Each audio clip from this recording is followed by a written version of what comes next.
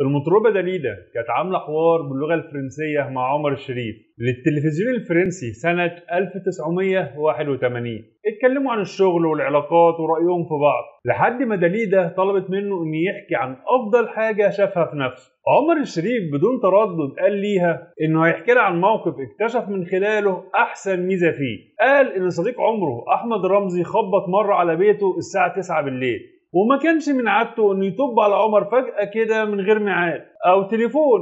عمر اللي كان بيستعد عشان يخرج عشان عنده تصوير لقى رمزي واقف في وشه عرقان ومتوتر. لما الباب اتفتح رمزي دخل على الصالة على طول من غير حتى ما يسلم على عمر. سأله حتى من غير ما يبص عليه وهو بيفرك كف إيده. كنت نازل مش كده؟ عمر اتكسف وقال له لا ابدا خير قلقتني عليك مش عوايدك.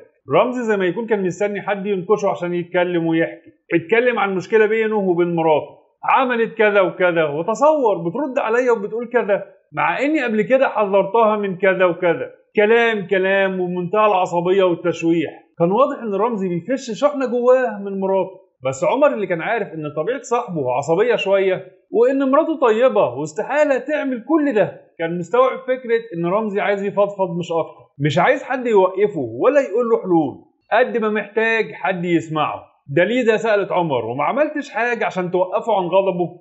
عمر قال ما كنتش بعمل غير ثلاث حاجات. بقول له امم وبهز راسي بالراحة ومثبت عيني على وشه ومركز في كل حرف بيقوله.